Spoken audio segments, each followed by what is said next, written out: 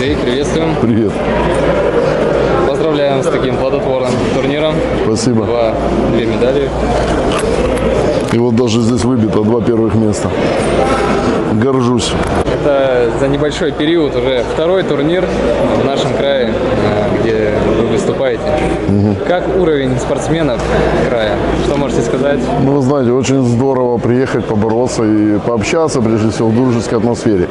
И это продолжение тренировочного процесса. Я сейчас готовлюсь на чемпионат Европы, поеду выступать в Грецию по мастерам старше 40, свыше 100 килограмм. И очень э, меня радует то, что именно в Краснодарском крае, как и в Крыму, очень много достойных ребят с сильными э, такими руками, веселые, позитивные, хорошая организация. Мне все очень нравится. Как президент Федерации армрестлинга скажу, что большое дело делают организаторы, за что им огромное спасибо. Это последний турнир перед Европой.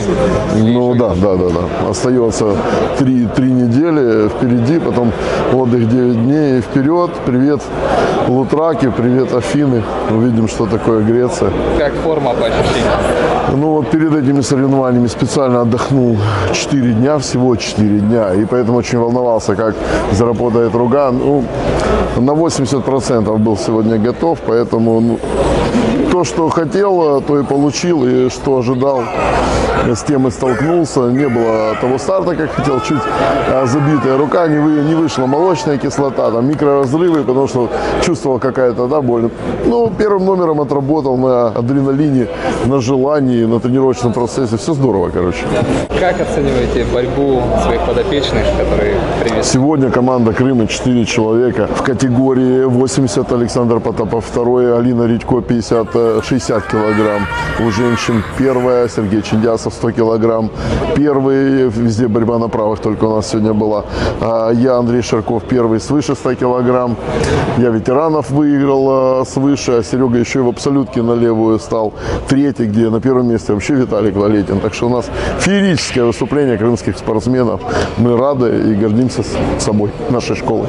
Если мы всех привезли, ой-ой-ой. Ну, видите, на крымской весне был, было нас двое. Сюда мы приехали, нас четверо. Если так хорошо и радушно будете принимать, когда крымчан приедет 10, тренируйтесь, краснодарцы. И вообще весь край. Кубань. Предупреждение. Кубань ждите, да, Крым рядом.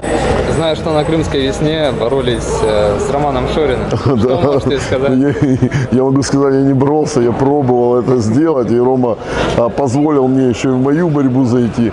Да ничего не могу сказать, ничего мне не получилось. Очень, очень сильный. Не удивил, а именно э, я понимал, что он намного сильнее. Я мечтал, конечно, там где-то даже его поймать, но не получилось. В планах есть да, его забороть.